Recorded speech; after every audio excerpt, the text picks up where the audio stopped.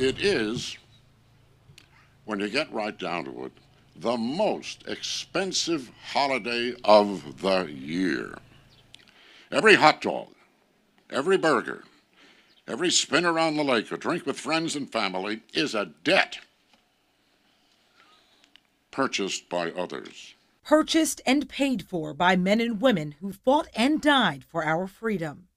I serve every day and continue to breathe for those who are not breathing today. Because I could have easily been one of those Marines we are recognizing today who paid the ultimate price.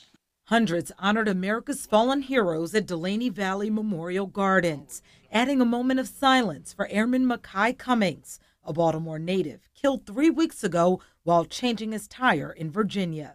Heroes who came from the same communities as us, who grew up on the same streets as us, and who believed in the same ideals as all of us.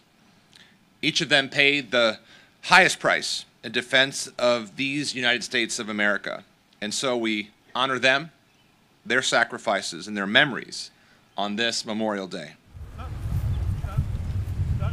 Across town near Windsor Mill at Kings Memorial Park, Governor Wes Moore, a veteran himself, calling fallen heroes our eternal angels, honoring them and their loved ones left behind.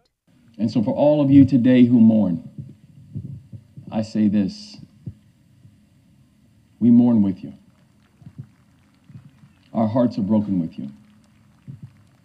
We stand with you today and every day because every bit of our freedom and every gift that we have received, it is because your kin made it so.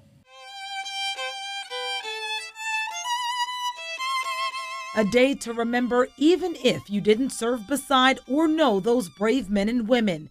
They served and died for each of us. You really, really realize like what people go through just for us to, you know, live our everyday lives and be normal. Very emotional time. There's families here that actually have lost a loved one, and uh, just to share uh, in that difficult time with them.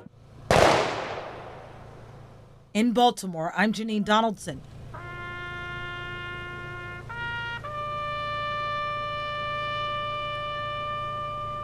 For WBAL TV 11 News.